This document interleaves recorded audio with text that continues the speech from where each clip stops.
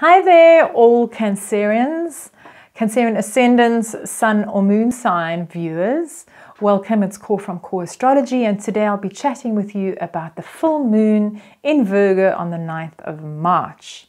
So, this is happening for you in an area of your life related to thinking and thoughts, communications, social media, writing emails, writing letters, SMSing, or WhatsApping, any forms of communication, thinking or thought thoughts um, as well as siblings, neighbors, also, and co workers fall into this area of life. So, Virgo is a very practical sign that likes to have details in order and know how to practically implement these thoughts and writing and communication, com- communicating, etc. So this also involves laptops and anything that allows you to write and communicate, and also to teach. Um, and challenging this desire to be practical and have knowledge about how to communicate for you on this full moon is the sun in an area in your chart that relates to belief systems, to philosophies, to matters related to foreign and overseas, to um, the law as well. And the sun on this full moon is conjunct the planet of Neptune at the time of the full moon. And Neptune amplifies this Pisces experience that you might be having since the sun went into Pisces in this area of your life around the 19th of February and it stays there until the 20th of March, which is focusing matters rela- related to travel and overseas and even higher studies like at university for you.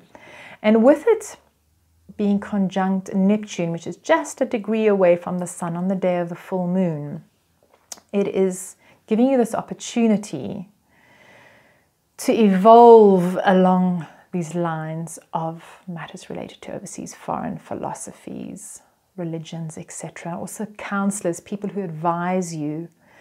There is a need to be very visionary and almost imagine what would be the most perfect university that you want to study at, who's the most perfect counselor that could help you, what is the most perfect foreign language that you would like to learn, or the foreign country that you want to travel to. It's all about imagination, fantasy, um, magic, mysticism, faith, um, God, divinity. What is the most divine aspect of your expression in these matters?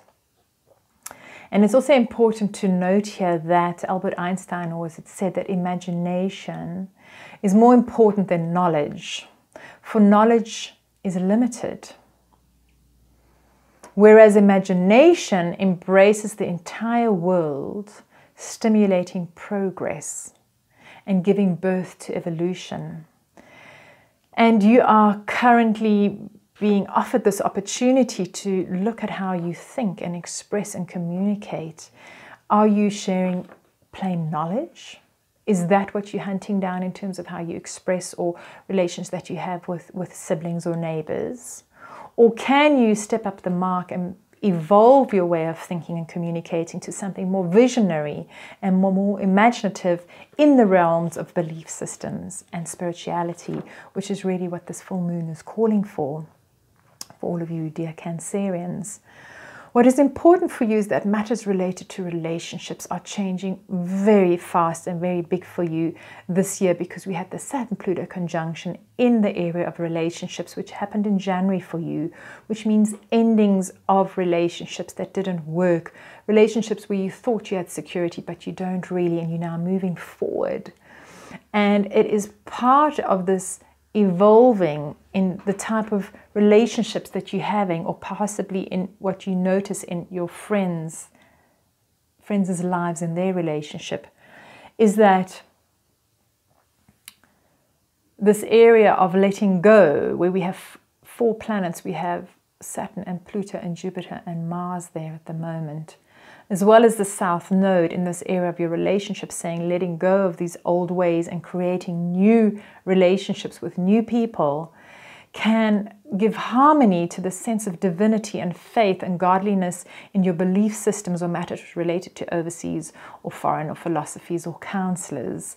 At this time, as well as aiding you in organizing your thought processes more magically so that you can actually relate to people in a more, you know, this is me, these are my dreams and my fantasies and my hopes versus just the actual practical knowledge about who you are, which should hold you back. So you're moving forward in your relationships. It's a very big step for you, the changes in your relationship for you this year.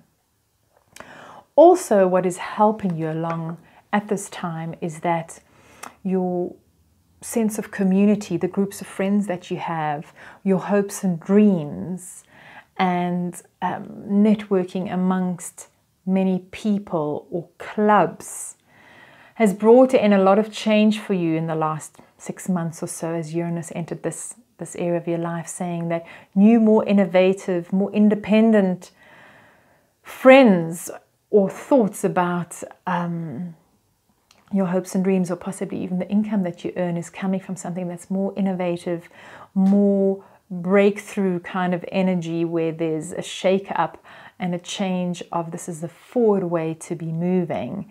And these are the kind of more innovative friends that are also going to be coming into your life to assist you on this journey of growth. Dan Lok said, Live your life as if all your dreams have come true and then challenge your reality to catch up. Also in the Bible, under Mark 11 24, it says, Therefore I tell you, whatever you ask in prayer, Believe that you have received it and it will be yours.